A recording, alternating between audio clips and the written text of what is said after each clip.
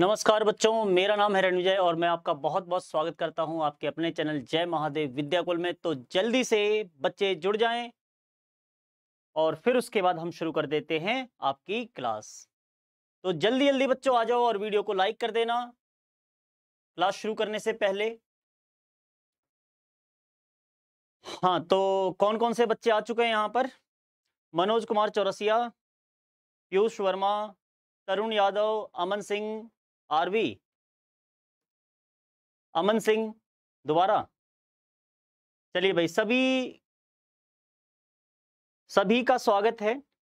सभी को नमस्कार। नमस्ते नमस्ते, अमन, नमस्ते।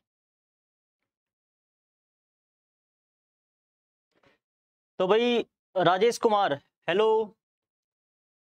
राज मौर्य हेलो सभी का स्वागत है बच्चों। सभी बच्चे जल्दी से जुड़ जाएँ और हाँ वीडियो को लाइक और शेयर कर दें। क्लास में शुरू करता हूँ आपकी।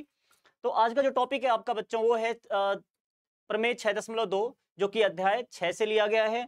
अध्याय छह का प्रमेय छह दशमलव दो हम करने जा रहे हैं। प्रमेय छह दशमलव एक पिछली क्लास में किया था, एक दो प्रश्न किए थे, उससे रिलेटेड आज हम उन प्रश्नों को दोबारा एक बार देखेंगे और इसके अलावा हम प्रमेय छह दशमलव दो करेंगे। इसको ध्यान से समझना।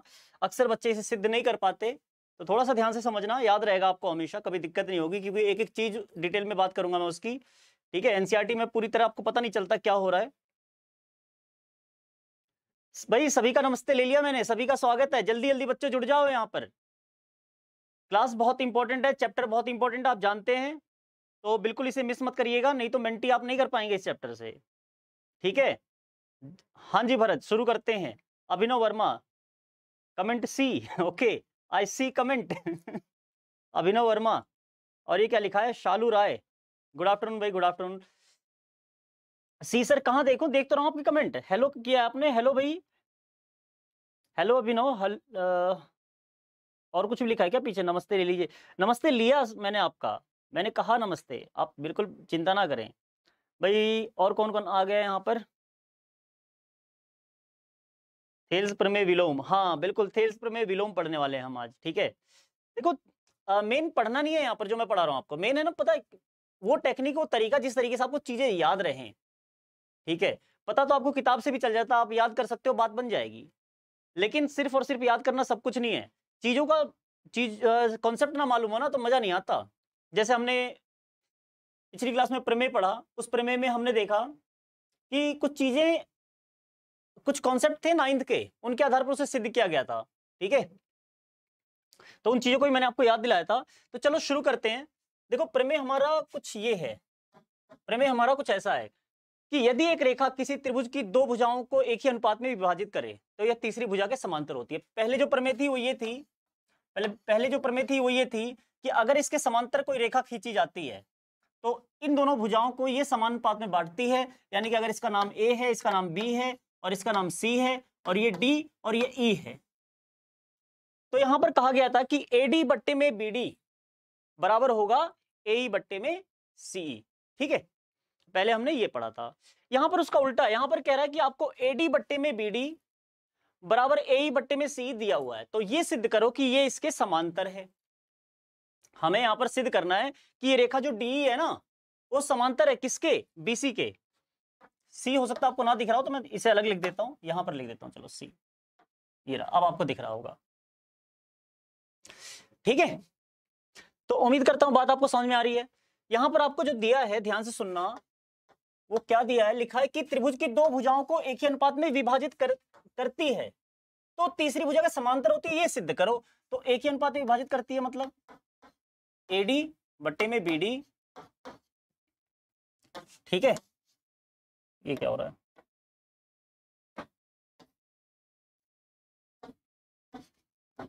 एडी बट्टे में बीडी ये बराबर दिया हो किसके? ए बट्टे में सी ध्यान से सुनना। ये बराबर आपको दिया हुआ है यहाँ पर। ठीक है? अब समांतर कैसे सिद्ध करें? समांतर के लिए हमें एक रचना करनी पड़ेगी यहाँ पर। वो रचना पता है क्या है? वो रचना ये है कि हम एक रेखा यहाँ पर खींच लेते हैं दूसरी। ये हमने यहाँ पर एक दूसरी रेखा खींच ली, जिसे हमने लिया ई डैश ठीक है? इसको हमने ले लिया, यहाँ पर ई डैश यानी कि डी ई डैश हमने एक रेखा खींची है, रचना। तो रचना आप लिख लेना, उसके बाद हम क्या करेंगे आगे? अब चूँकि हमने जो रेखा है डी ई डैश ये समांतर खींची है किसके? बीसी के। मैं लिख देता हूँ, चलो। यहाँ पर हमने बीसी समांतर डी ई डैश खींचा। ठीक है? ये समांतर, हमने मान लिया कि डी समांतर नहीं है। हालाँकि डी हमें समांतर सिद्ध करना है तो इसमें हम बिल्कुल वही मेथड यूज़ करते हैं जो हमने फ़र्स्ट चैप्टर में किया था। याद है, फ़र्स्ट चैप्टर में हमने क्या मेथड यूज़ किया था? हमें सिद्ध करना था कि रूट दो एक अपरिमेय संख्या है। तो हमने इसके विपरीत इसे मान लिया था कि ये परिमेय संख्या है, और फिर हमने इसे परिमेय संख्या की तरह ट्रीट किया। ठीक है? लेकिन हमने देखा, परिमेय संख्या की तरह जब हम इसे ट्रीट करते हैं तो ये आगे हमारी कंडीशंस जो है परिमेय संख्याओं के लिए उसको सेटिस्फाई नहीं करता। उन शर्तों, वो सारी शर्तें इस पे लागू नहीं हो रही। तो इस आधार पर हमने कह दिया था, इसका मतलब ये अपरिमेय संख्या हमने गलत एज्यूम कर लिया था, गलत मान लिया था, यहाँ भी वही कर रहे हैं हम। यहाँ हम क्या कर रहे हैं? हम मान लेते हैं डीई e इसके समांतर नहीं है बीसी के। हम मान लेते हैं डीई बीसी e के समांतर नहीं है।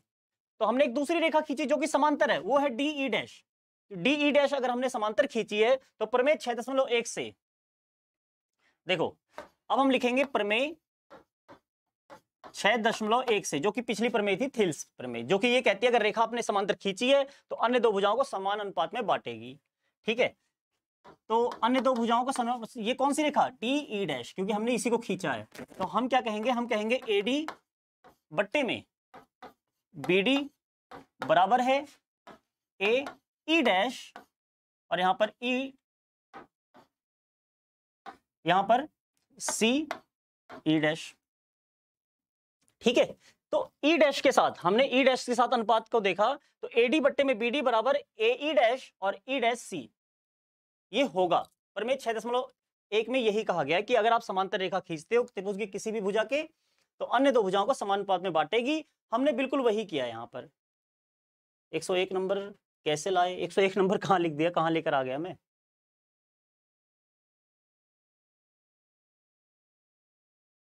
दिया है, लिखेंगे।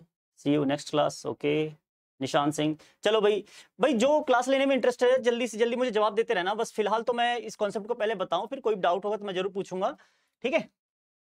तो यहाँ पर ध्यान देना। और इधर उधर की बातें मत करना कमेंट में, ठीक है? आपस में। ध्यान देना, ध्यान से सुनना, तभी आप समझोगे बात बात को, ठीक है? तो डी क्योंकि हमने समांतर खींचा बीसी के तो हमें पता है एडी बट्टे में बी डी बराबर ए ई डैश बराबर सी ई डैश और ये तो आप जानते हो, दिया है। ये तो दिया है। ठीक है, अब ये दिया है और इसको हमने समीकरण एक मान लिया और इसको समीकरण दो मान लिया। तो एक बात बताओ, ये भी एडी बट्टे बीडी है, ये भी एडी बट्टे बीडी है। तो ये और ये एक ही चीज़ के बराबर है तो ये दोनों आपस में बराबर होंगे नहीं होंगे। तो मैं कह सकता हूँ समीकरण एक तथा दो से। समीकरण एक तथा दो से आपको मिलेगा। कि ए बट्टे सी, ए बट्टे सी ई, बराबर है ए डैश और सी ई डैश। बताओ, बात समझ में आ गई? यहाँ तक कोई डाउट किसी को? अब यहाँ तक मुझे बताओ भाई, जल्दी से किसी को कोई डाउट है? कोई डाउट हो तो मैं क्लियर करूँ।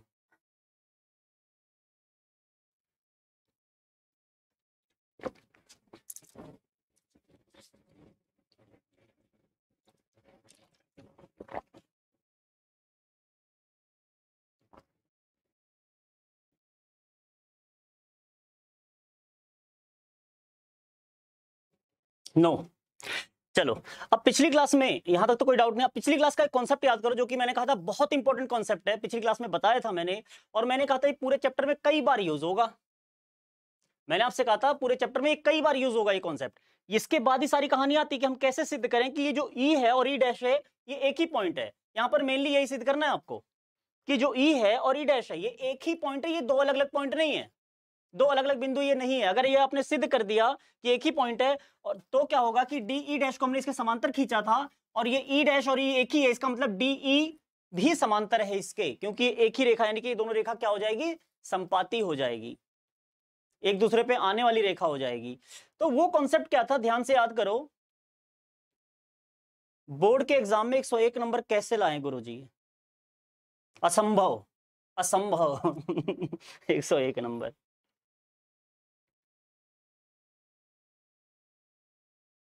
देखो बोर्ड के एग्ज़ाम में 101 नंबर लाने का एक सिंपल तरीका है, लेकिन थोड़ा थोड़ा सा क्या है कि आपको चालाकी दिखानी पड़ेगी इसमें। और थोड़ी समझदारी भी। नहीं तो आप फंस सकते हैं। बोर्ड के एग्ज़ाम बोर्ड के एग्ज़ाम्पल में बोर्ड के एग्ज़ाम में 101 नंबर लाने का तरीका ये है कि आपको पता करना पड़ेगा कि आपका पेपर कहाँ चेक हो रहा है। वहीं पहुँचना पड़ेगा। वहाँ पहुँच के आप ये काम कर सकते हैं, बाकी आप समझ सकते हैं। ठीक है? बाकी आप समझ जाएँ। इशारा काफ़ी है समझदार के लिए। ए बेस है ट्राइंगल का। अरे भाई ए बेस नहीं नहीं यहाँ पर ट्राइंगल नहीं बनाएँगे। यहाँ पर ट्राइंगल नहीं बनाएँगे। मैं देखना चाह रहा हूँ यहाँ पर कितने बच्चों को पता है ये बात। हैंड राइटिंग पर एक नंबर मिलेगा। अरे भाई अगर हैंड राइटिंग पे एक नंबर मिले ना तो उसी में इंक्लूड होता है। फिर वो 99 का ही पेपर होता है। एक नंबर हैंड राइटिंग का होता है। समझ रहे हो मेरी बात? कभी 101 से पार नहीं जाते।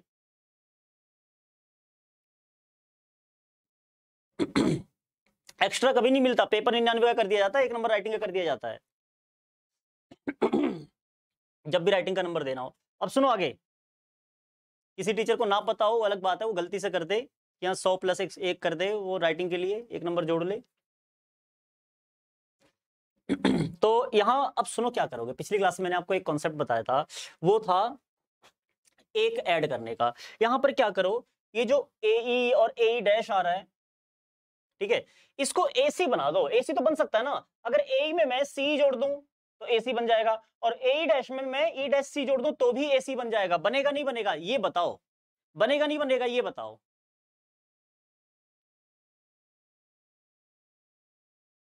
नूर अल्लाह का बंदा। ठीक है, बहुत बढ़िया। ले आया होगा कोई।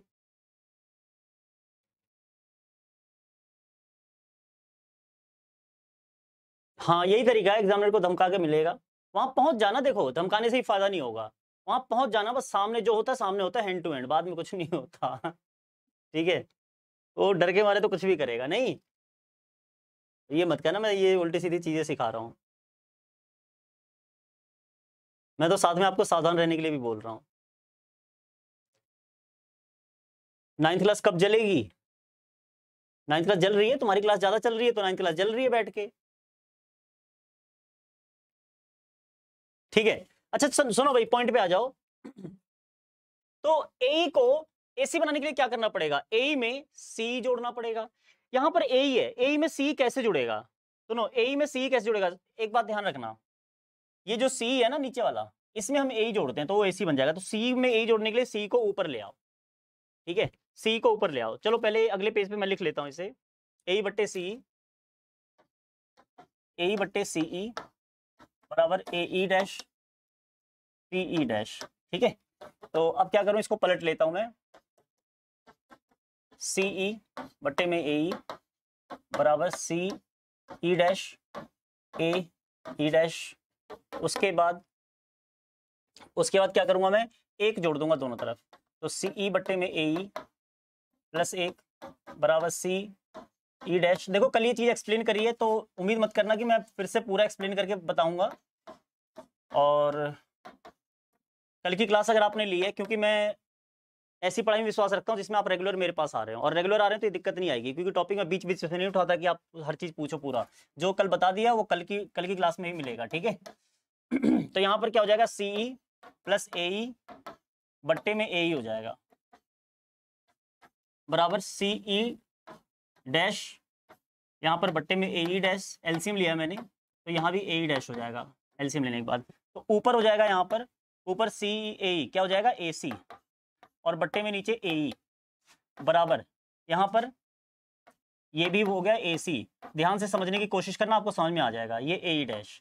अब इसको फिर से वापस पलट लो, इसको फिर पलटता हूँ मैं तो ये हो जाएगा ए ई बट्टे में ए सी बराबर। यहाँ पर ए ई डैश बट्टे में ए सी अब नीचे तो एक जैसा हो गया तो इसे काट दो। बस इसीलिए हमने काटने के लिए ऐसा किया था, ताकि हमें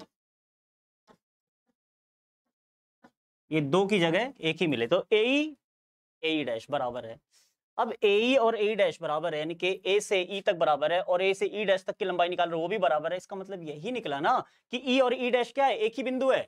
बताओ, समझ में आया नहीं आया? ईमानदारी से बताना, समझ में आया नहीं आया? चलो भाई, जल्दी से बताओ, समझ में आया, नहीं आया? तरुण यादव, दो जोड़ लो, कोई दिक्कत थोड़ी है। तरुण, आप चाहो तो दो जोड़ सकते हो। ठीक है, बस दो जोड़ोगे तो पता क्या होगा? देखो, दो जोड़ोगे तो पता क्या होगा? ये सी है ना सी में जो ए जुड़ रहा हो डबल ए जुड़ेगा। आप डबल ए जोड़ने के बाद क्या लाना है आपको मुझे तो नहीं मालूम। आप देखना कुछ आ जाए तो क्या पता कुछ भला हो जाए आपका।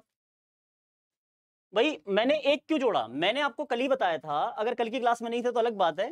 तरुण डेली आया करो मज़ा आएगा। ये बी, बीच में क्लास क्यों खराब करते हो? ठीक है।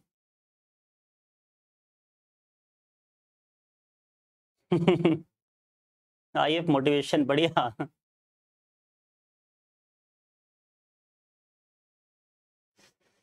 चलो भाई, बढ़िया, समझ में आ गया। और हाँ किसी को ना आया तो मैं एक बार थोड़ा सा और बता देता हूँ इसके बारे में कि हुआ क्या है। देखो, फिर से देखो।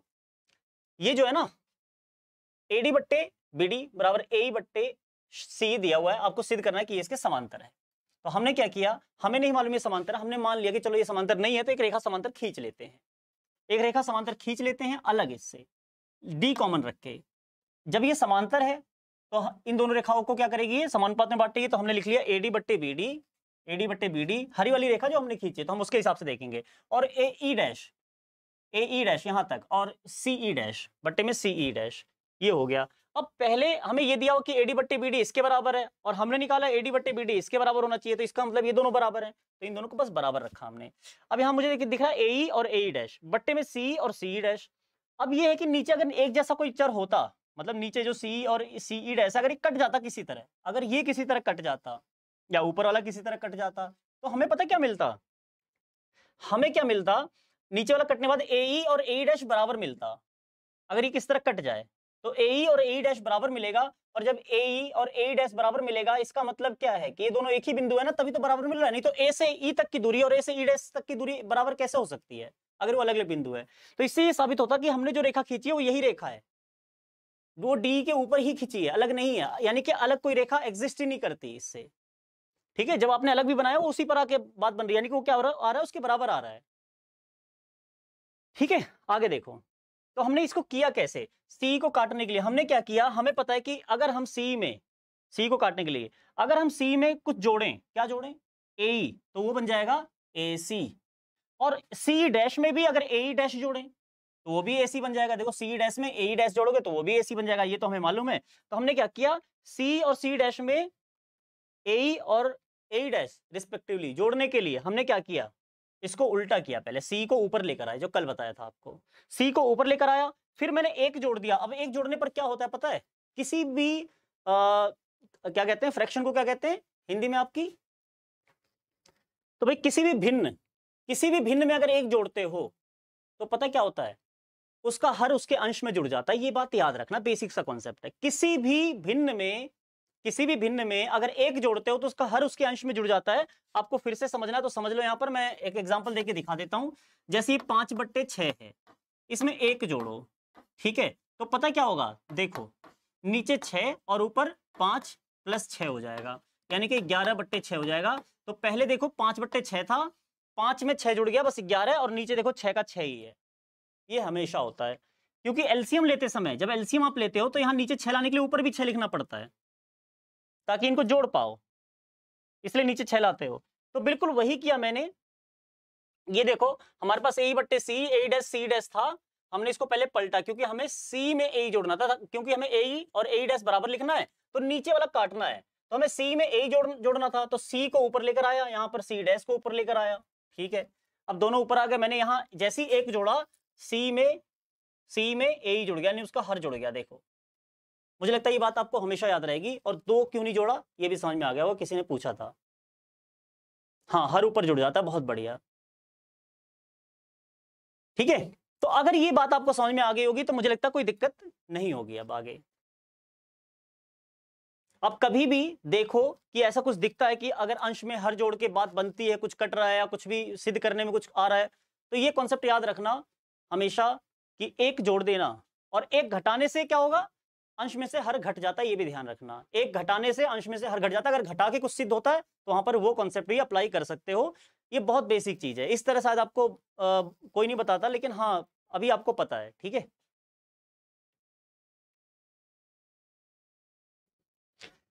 तो उम्मीद करता हूँ ये प्रमेय आपको समझ में आ गई होगी। उदाहरण देख लेते हैं। एक उदाहरण है हमारे सामने। अच्छा ये बताओ ये उदाहरण कल किया था नहीं किया था हमने? कल ये उदाहरण हमने किया था नहीं किया था? जल्दी जल्दी बताओ।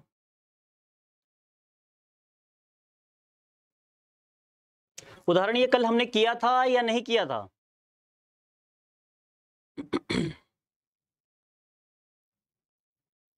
इट्स क्लीट क्लियर क्लियर ठीक है, कोई दिक्कत नहीं।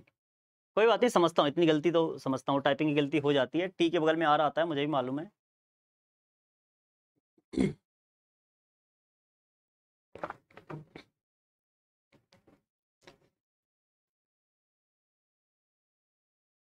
सुमित कुमार मतलब किसी ने आपको कहा कि इसको विरोधाभास विधि से हल करते हैं तो वही चीज़ मुझसे पूछ रहे हो। अरे सुमित कुमार मैंने इसे विरोधाभास विधि से ही हल किया है।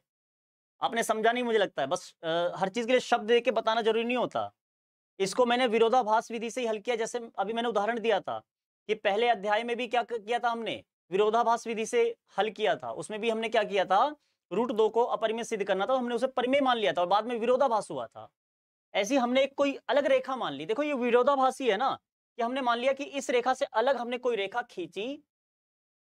ठीक है, जो कि इसके समांतर है। और बाद में हमें ये पता चलता है कि अलग तो कोई रेखा एग्जिस्ट ही नहीं करती। वो तो यही रेखा है, क्योंकि ई e और ई e डैश एक ही बिंदु है, वो कोइंसाइड करते हैं। समझ रहे हो? तो विरोधाभास विधि ही है ये, ठीक है? ठीक है, आपने सुना होगा कहीं कि विरोधाभास विधि से इसे हल कर सकते हैं। वही किया मैंने। बात समझ में आ गई ये विरोधाभास विधि है सुमित कुमार समझ में आ गई या नहीं चलो बढ़िया है तो आगे बढ़े इस प्रश्न को हमने किया था ना हाँ किया था तो इस प्रश्न के आगे अगले प्रश्न की ओर बढ़ते हैं एक दूसरा उदाहरण था हमारे पास वो ये है कि एबीसीडी एक समलंब है जिसमें ए बी समांतर डीसी है और असमांतर भुजाओं एडी और बीसी पर क्रमशः बिंदु डी ई और एफ़ इस प्रकार है कि एफ़ भुजा ए बी के, समांतर है, ठीक है। देखिए आकृति आकृति तो इसमें है ही नहीं, लेकिन कोई बात नहीं, मैं बना देता हूँ। एबीसीडी एक समलम चतुर्भुज है।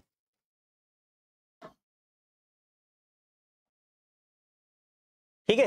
ये एबीसीडी है, ये क्या है आपका? समलम चतुर्भुज है। यहाँ लिख लेते हैं ए, यहाँ बी, यहाँ सी, यहाँ डी।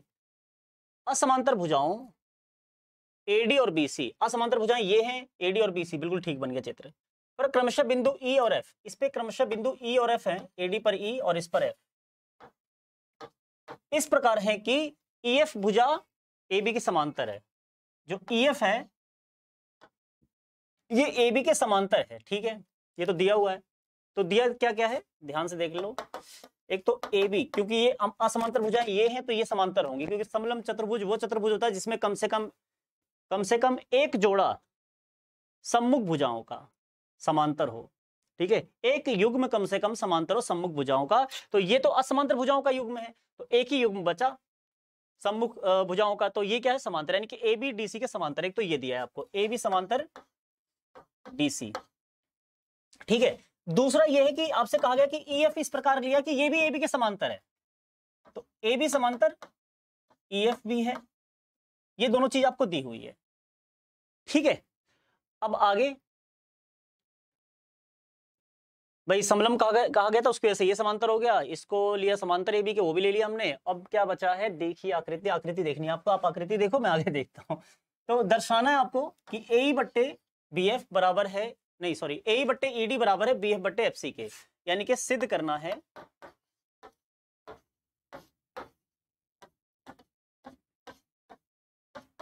देखो बच्चों, मुझे भी पहले से कुछ नहीं मालूम क्या है, क्या नहीं है। बस ध्यान से सुनना, क्वेश्चन को कैसे अटेम्प्ट करते हैं, बिल्कुल ज़ीरो से यहाँ देखते हैं। सर ये चैप्टर हम बनाते हैं, फिर भूल जाते हैं।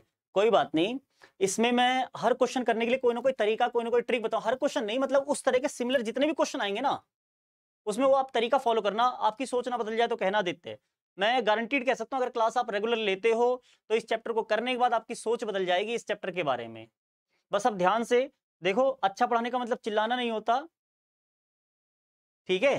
कि मैं चिल्ला के बोलूँ, तभी आप कहो कि हाँ अच्छा पढ़ा है सर ने। शांति से, ध्यान से पढ़ो, क्योंकि सीनियर क्लासेस सिर्फ़ शांति से ही पढ़ती हैं।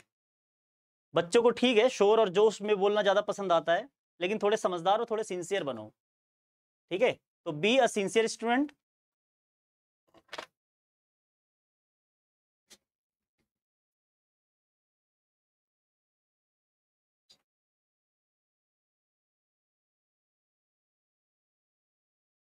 DC समांतर ये भी हाँ ये कंक्लूजन है। मनोज चौरसिया, बिल्कुल सही कहा। तो सिद्ध करने में वैसे भी पहला स्टेप हमारा ये मनोज कुमार चौरसिया ने पहला स्टेप बता भी दिया है। देखो, एक बात ये कि जब एक ही रेखा के समांतर दो रेखाएँ होती है ना नाइन्थ क्लास में आपने पढ़ा था, एक ही रेखा के समांतर जब दो रेखाएँ खींचते हो तो दोनों आपस में भी समांतर होती है। तो आप देखोगे कि डीसीएबी के समांतर है, क्योंकि ये समलम्ब है तो डीसीएबी के समांतर है। फिर ईएफ एबी के समांतर होगा, जैसा कि इसने खुद कहा है क्वेश्चन ने। तो इससे हम ये कह सकते हैं कि जो ए बी है ना ए बी और E F sorry A B E F नहीं ई एफ़ और डीसी ये समांतर होंगे, जो कि इन्होंने कहा, मनोज कुमार चौरसी ने डीसी ई एफ़ बिल्कुल सही कहा। तो हम कह सकते हैं, जो सिद्ध करना वो लिख लेता हूँ मैं पहले।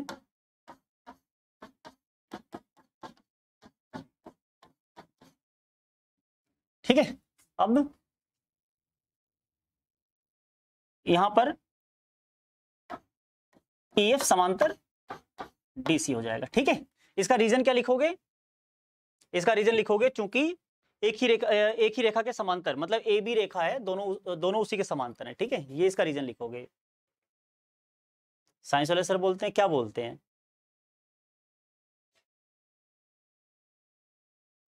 क्या बोलते हैं साइंस वाले सर भाई जो भी बोलते हैं, मैं तो सामने बैठा होता हूँ, सब कुछ जानता हूँ। जो बोलते हैं अच्छा ही बोलते हैं आपके लिए। और जितने जोश से, जितनी मेहनत से पढ़ा सकते हैं, पढ़ाते हैं वो। हम्म। भाई, हमारी पूरी टीम आपके लिए बहुत मेहनत करती है। बाकी स्टाइल होता है सबका अपना अपना पढ़ाने का। मैथ पढ़ने का अलग स्टाइल है। साइंस पढ़ने का अलग स्टाइल है। ठीक है? बाकी कोई डाउट हो तो आप बता सकते हैं।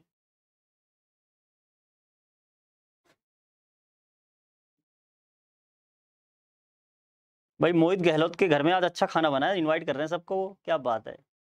इतना बढ़िया खाना? चलो, बढ़िया। चलो भाई, आगे चलें? तो अब क्या करेंगे हम यहाँ पर? यहाँ पर हम एक रेखा खींच लेते हैं। देखो, यहाँ से यहाँ तक पहुँचने के लिए हमें एक रेखा चाहिए। कैसे पहुँचेंगे वहाँ से यहाँ तक? देख लेते हैं। ठीक है?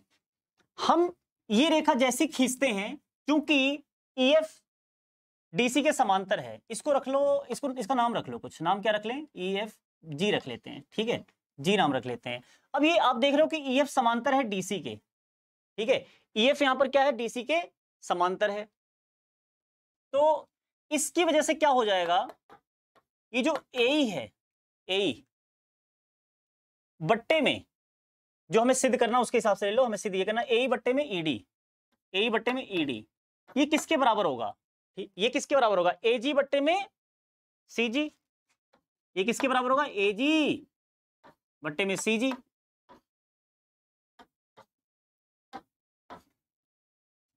कोई डाउट किसी को? किसी कोई डाउट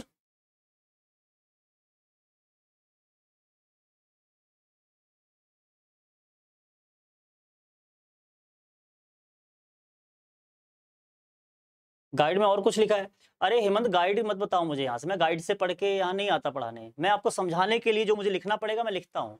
मुझे जो कुछ भी लिखना होता है कि आप कॉन्सेप्चुअली हर चीज़ को समझें, वो चीज़ समझें। गाइड में कुछ भी लिखा हो।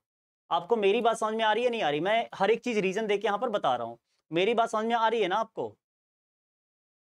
हाँ थेल्स पर थ्योरम लगा दीजिए। लगा दिया मैंने। थेल्स थ्योरम में लगाया इस त्रिभुज में एडीसी में। क्योंकि ये रेखा इसके समांतर है तो ईजी भी समांतर हुई डीसी के।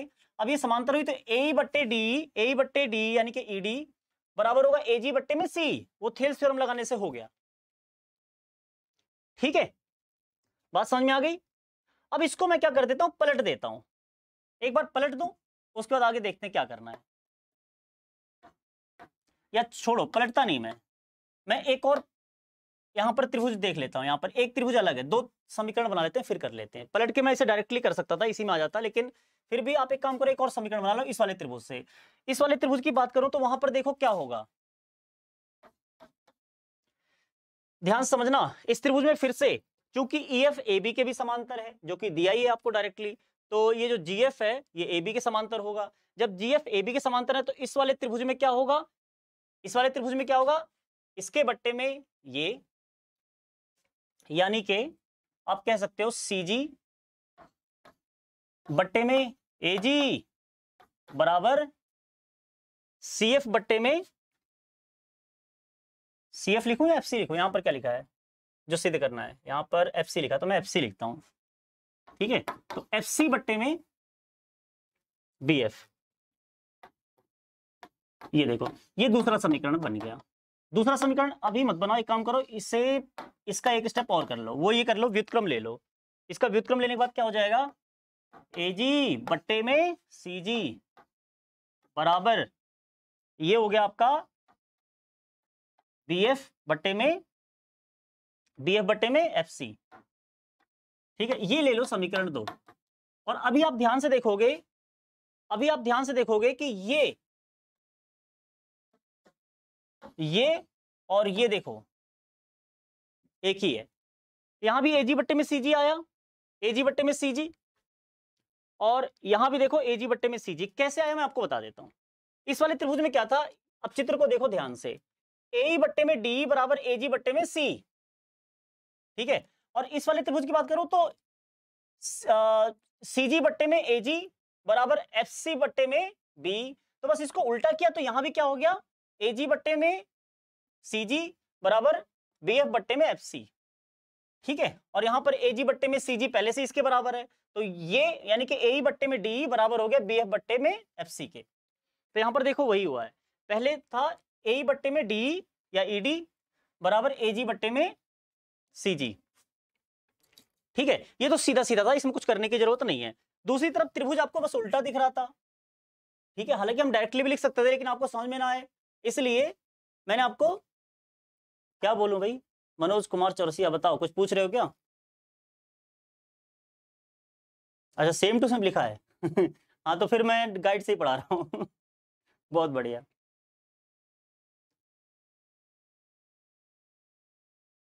हाँ हेमंत, बढ़िया। Prove that sum of triangle हाँ मैं प्रूव कर दूँगा, बिल्कुल। आपने कहा, आप जो जो कहो, मैं करता जाऊँगा। चिंता ना करो। मैं सीरियल में पढ़ाने को जाए एक काम करता हूँ मैं यही कर लेता हूँ जो जो आप कहोगे वही वही पढ़ाता चला जाऊँगा। मतलब सारे टॉपिक ना कवर करूँ, मैं बीच बीच में से टॉपिक आपने जो पूछा पढ़ा लो बाकी बच्चे बस आके मुझे देखते रहे आपके लिए। है ना?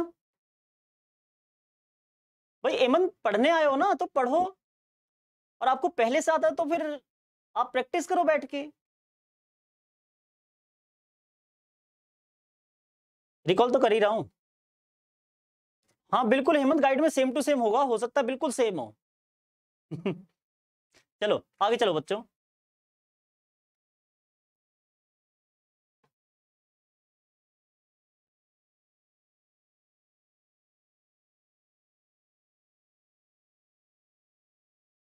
हम्म तो चलो क्वेश्चन में क्या कहा गया था? देख लो ए बी सी डी एक समलम चतुर्भुज था, वो है। समलम होने की वजह से ए बी डी सी के समांतर है, क्योंकि उसने खुद कहा था कि असमांतर भुजाएँ ए डी और बी सी है। देखो इस कोने में लिखा हुआ है, असमांतर भुजाएँ ए डी और बी सी है। ठीक है? और इस पर, ये है ए डी और बी सी और इस पर बिंदु ई e और एफ़ लिए गए हैं, यानी कि ए डी पर ई e और बी एफ़ पर एफ़ आपको सिद्ध करना है कि ए e बट्टे में DE बराबर एफ़ बी एफ़ बट्टे में एफ़ सी लेकिन प्रॉब्लम यह है कि एक त्रिभुज नहीं है, चतुर्भुज है। तो कैसे करोगे? तो हम इसमें त्रिभुज बना लेंगे दो। हम एक कॉर्नर को दूसरे कॉर्नर से, यानी कि वर्टेक्स को दूसरे वर्टेक्स से मिलाएँगे। सम्मुख जो यहाँ पर आपके शीर्ष हैं उसको मिलाएँगे। कोई भी चाहे आप इसे मिलाओ चाहे इसे मिलाओ आपकी बात बन जाएगी। इस त्रिभुज की बात करें तो ए बट्टे में ईडी बराबर ए जी बट्टे में एफ़ सी दूसरे त्रिभुज की बात करें तो ए जी बट्टे में आ, ये जी सी जो भी है ए जी बट्टे में जी सी बराबर बी एफ़ बट्टे में एफ़ सी तो आप देख रहे हो कि ए जी बट्टे में जीसी बराबर है ए बट्टे में ईडी के। और उस तरफ़ भी ए जी बट्टे में जीसी बराबर है बी एफ़ बट्टे एफ़ सी के। तो भाई ए बट्टे में डी बी एफ़ बट्टे में एफ़ सी के बराबर हुआ ही नहीं हुआ? बीच में ये कॉमन है ना ए जी बट्टे जीसी ये दोनों में है। देखो।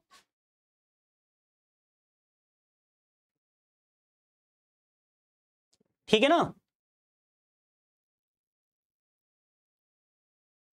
कोई डाउट किसी को? किसी कोई डाउट हो तो बताओ।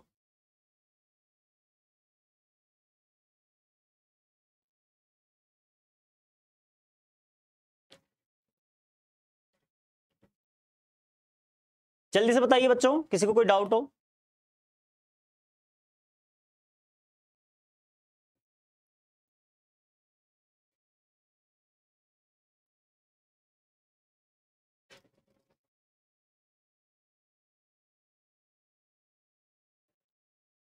No no doubt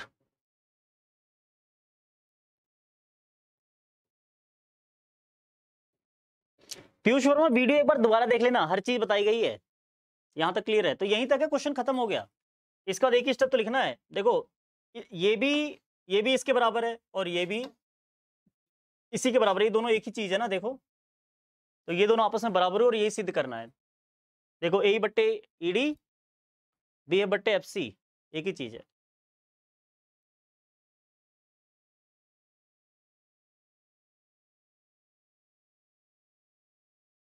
कोई डाउट नहीं है ना?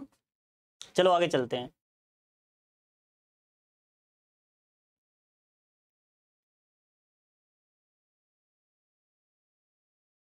साइंस की क्लास रात को नौ बजे होती है, लेकिन आज नहीं होगी। साइंस क्लास आपकी शुक्रवार, शनिवार और रवि शुक्रवार नहीं। साइंस क्लास आपकी वीरवार, शनिवार, रविवार को होती है ना? हम्म। पीयूष, कोई डाउट कोई दिक्कत तो नहीं? पीयूष, मुझे लगता है आपको समझ में आ गया होगा। देखो फिर से देखो, अगर नहीं समझ में आया तो मैं एक बार बता देता हूँ थोड़ा सा। यहाँ पर क्या था? ये चतुर्भुज है, ठीक है? और यहाँ पर एक रेखा समांतर दी हुई है। ये ये और ये तीनों आपस में समांतर है। ये तो क्लियर हो गया था, ठीक है? ये स्टेप शुरू में ही था। उसके बाद क्या करना है आपको? आपको इसके बट्टे में ये बराबर इसके बट्टे में इस, ये सिद्ध करना है। तो यहाँ पर कुछ भी कॉमन नहीं दिख रहा हमें तो हमने एक रेखा खींची है बस। तो अब क्या होगा पता है? इसके बट्टे में ये बराबर होगा, इसके बट्टे में ये। ठीक है? और इसके बट्टे में ये, जो कि इसके बट्टे में ये, इसके बराबर है ना? यही इसके भी बराबर है, इसके बट्टे में ये। क्यों? क्योंकि यहाँ भी त्रिभुज बन रहा है, देखो, ये त्रिभुज। और यहाँ जो त्रिभुज बन रहा है, इसमें इसके समांतर ये रेखा है। ठीक है? देखो, इस रेखा के समांतर ये वाली रेखा है। इस त्रिभुज में। इस त्रिभुज में। ठीक है? दूसरी तरफ़ ये हरा वाला त्रिभुज आपको दिख रहा है। ये हरा वाला त्रिभुज है, हरे वाले त्रिभुज में क्या हो रहा है? इस वाले रेखा के समांतर ये वाली रेखा है। ठीक है? कोई डाउट हो तो बताओ।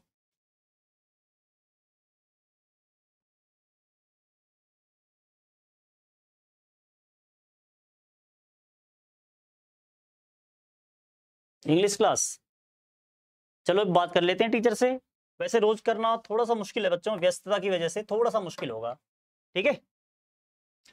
अब इस क्वेश्चन को देखते हैं। इस क्वेश्चन को समझने की कोशिश करना ध्यान से। भाई, पीयूष क्लियर है ना? कोई डाउट क्लियर है ना? चलो, बढ़िया। पीयूष का भी क्लियर हो गया। आगे पढ़ते हैं। पीएस बट्टे एस क्यू ये पीएस है। पीएस बट्टे एस क्यू बराबर है पीटी बट्टे टी आर बराबर है पीटी बट्टे टी आर और यहाँ पर पीएसटी बराबर है पी आर क्यू के यहाँ पर पीएसटी बराबर है पी आर क्यू के। यानी कि ये कोण आपको इसके बराबर दिया हुआ है। ठीक है तो यहाँ पर सिद्ध करना है कि पी क्यू आर एक समद्विबाहु त्रिभुज है। पी क्यू आर क्या है? एक समद्विबाहु त्रिभुज है। पी क्यू आर यानी कि बड़ा वाला त्रिभुज, एक समद्विबाहु त्रिभुज है, इसके लिए आपको सिद्ध करना पड़ेगा पी क्यू बराबर पी आर बस। और ये कैसे सिद्ध होगा? वो देख लेते हैं। ऑल क्लियर बहुत बढ़िया। चलो भाई, सबका क्लियर हो गया? बहुत अच्छी बात है।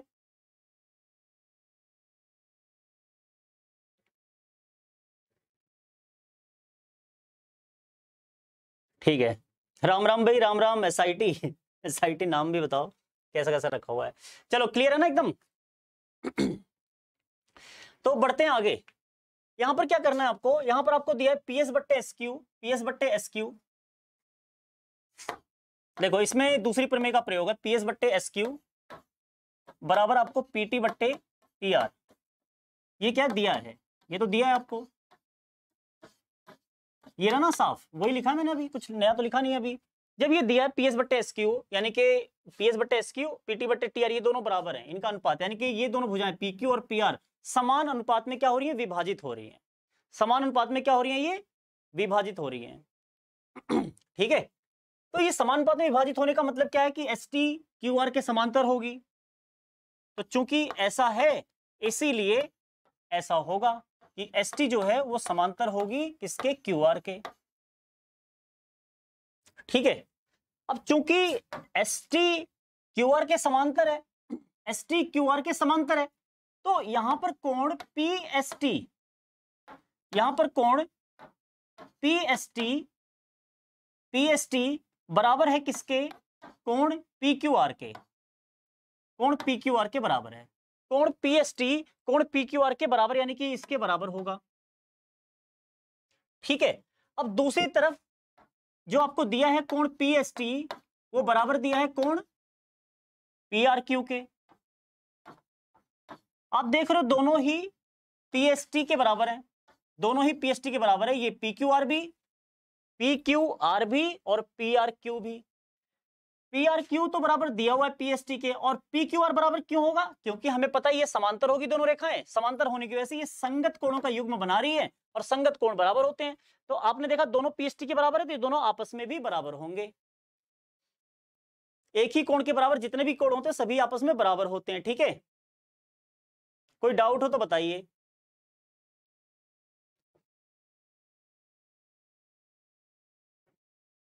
शेखर आईटी चलो बढ़िया।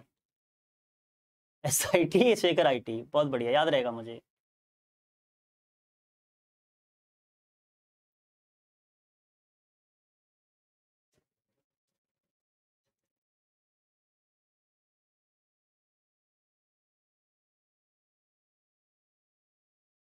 चलो तो आगे चलें?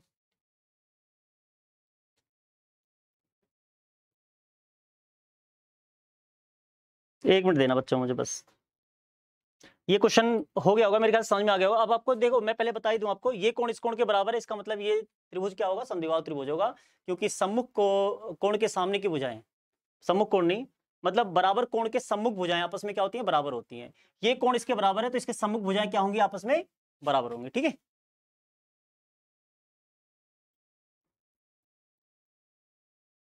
तो उम्मीद करता हूँ सबको समझ में आ गया हो कोई दिक्कत हो किसी को तो बता देना।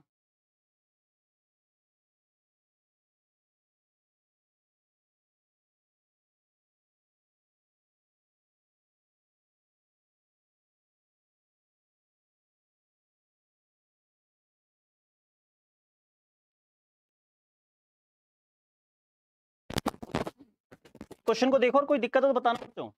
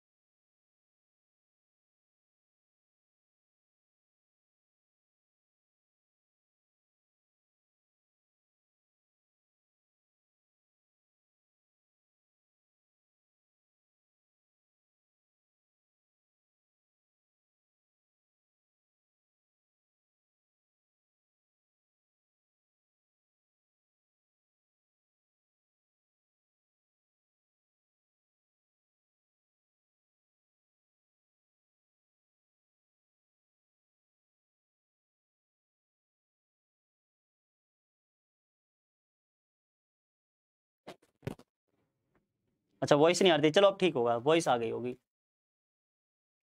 हाँ तो बच्चों, मैं कह रहा था, बिल्कुल इग्नोर करो किसी भी किसी भी स्टूडेंट को, जो भी इधर उधर की बातें करते हैं, बाकी उनको कंट्रोल करना हमारा काम है, कर लेंगे हम, आप चिंता ना करें बिल्कुल। ठीक है? आप बिल्कुल परेशान ना हो, आप अपनी पढ़ाई पे ध्यान दें, क्योंकि देखो, जैसा कि मैंने आपको पहले ही बताया हुआ, धरती पे हर तरह के जीव पाए जाते हैं।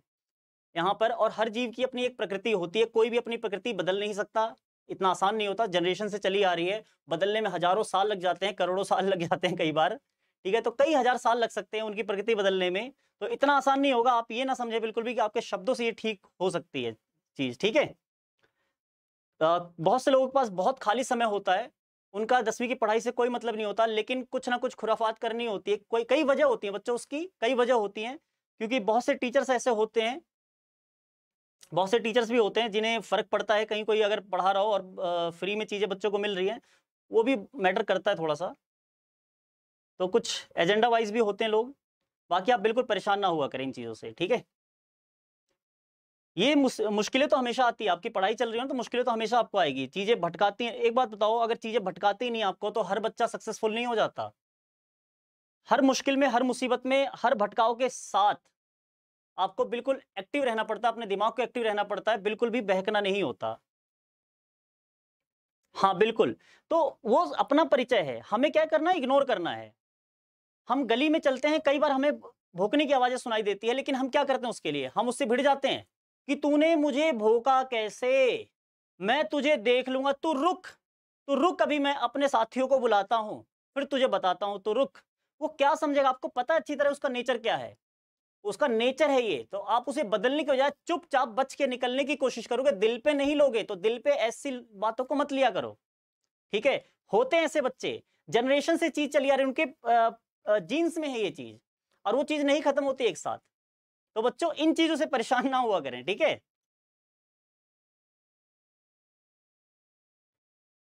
समय लगता है।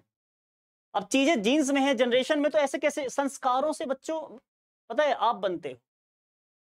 कोई भी टीचर हो, कैसा भी टीचर हो, मान लो मैं बिल्कुल बेकार पढ़ाता हूँ, मैं मान लो पढ़ाता ही नहीं। यहाँ टाइम पास करता हूँ, ये मान लो।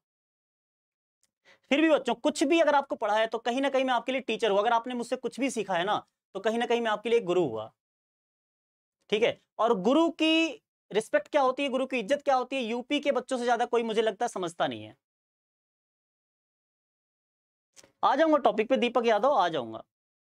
मैं बाकी बच्चों को समझाने की कोशिश कर रहा हूँ, ताकि इन बातों पे ज़्यादा आकर्षित ना हो, इन बातों से ज़्यादा मतलब इमोशनल ना हो।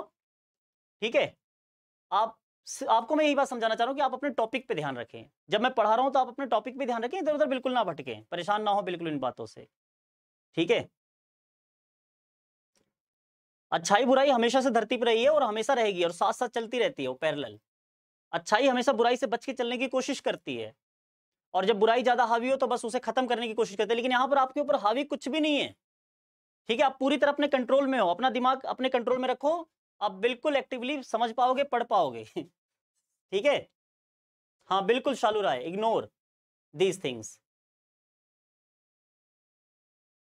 okay so let's continue यहाँ पर क्या पढ़ रहे थे हम? हमने पढ़ा कि ये कोण और ये कोण दोनों पीएचटी के बराबर है। ये क्यों बराबर है? इसके दिया हुआ है। और ये कैसे इसके बराबर है? क्योंकि इसके समांतर है। समांतर कैसे है?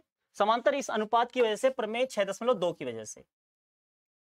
तो इसके आधार पर हम कह सकते हैं कोण पी क्यू आर कोण पी आर क्यू बराबर है। तो हम यहाँ पर कह पाएँगे कि कोण पी क्यू आर बराबर कोण पी आर क्यू ठीक है? ये कौन से कोण है? देखो, कोण पी क्यू आर और कोण पी आर क्यू ये वाले दोनों कोण है। तो इसके हिसाब से पी क्यू बराबर पी आर हो जाएगा। अब यहाँ पर हो जाएगा पी क्यू बराबर पी आर और ये बराबर क्यों होगा भाई? ये बराबर क्यों होगा? पी क्यू पी आर क्यों बराबर होगा, आप जानते हैं? भाई साफ़ साफ़ यही तो लिखा है ऊपर क्यों बराबर होगा? इसमें जानने वाली बात सम्मुख भुजाएँ भाई किसके? आ, समान कोणों समान कोणों के सम्मुख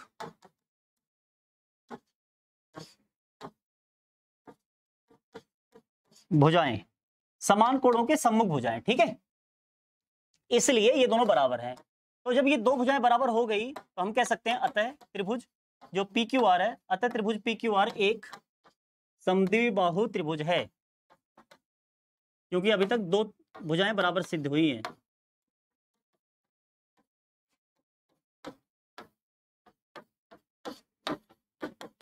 ठीक है? यहाँ तक क्लियर जल्दी बताओ भाई, यहाँ तक कोई डाउट किसी को? यहाँ तक कोई डाउट कोई समस्या?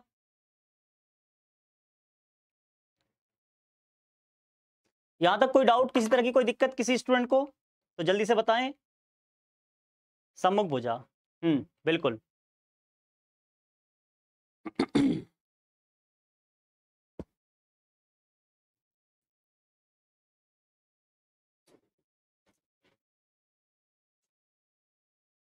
हेलो अंशु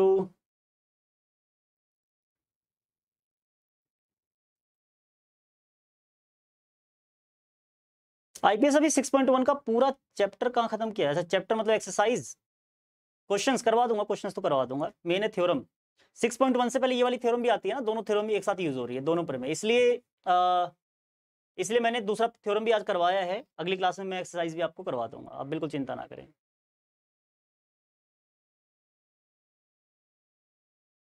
है सर, दिक्कत है। संदीप प्रजापति, कब आए?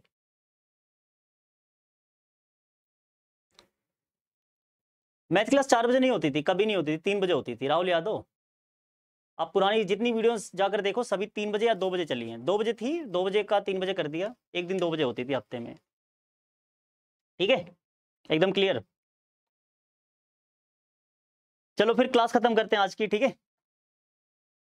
मिलते हैं अगली क्लास में बच्चों। और बच्चों, जितने बच्चे यहाँ जुड़ते हैं, सभी संस्कारों के साथ आए। अपने अच्छे संस्कारों के साथ क्योंकि आपके संस्कार आपके परिवार की पहचान होती है तो आपके संस्कार अच्छे होंगे तो हमें पता चलता है कि आपका परिवार अच्छा है। ठीक है? उसी से हमारी पहचान बनती है। जितने अच्छे विद्यार्थी जिस टीचर के पास होते हैं जिस अध्यापक के पास होते हैं उसी से उन, उनकी पहचान बनती है कि वो टीचर कैसा है। ठीक है? तो मैं बिल्कुल नहीं चाहता किसी आ, मतलब आ, किसी ऐसे बच्चों को जोड़ना जो बच्चा संस्कारी ना हो क्योंकि संस्कार पहली चीज़ है जो उसे सीखनी होती है जो उसके परिवार जो उसका परिवार उसके पेरेंट्स सिखाकर उसे भेजते हैं अध्यापक के पास। वो चीज़ अध्यापक से पहले उनके माता पिता जो जो कि बच्चों के पहले अध्यापक होते हैं, वो सिखाकर भेजते हैं, ठीक है? इसीलिए हमारा मानना होता है कि अगर आपके संस्कार अच्छे हैं तो आपके परिवार ने, आपके पेरेंट्स ने आपको अच्छी चीज़ें सिखाई, उन्होंने बताया है कि टीचर क्या होता है, गुरु क्या होता है। ठीक है? चलिए भाई, सभी को बाय कल मिलते हैं अगली क्लास में।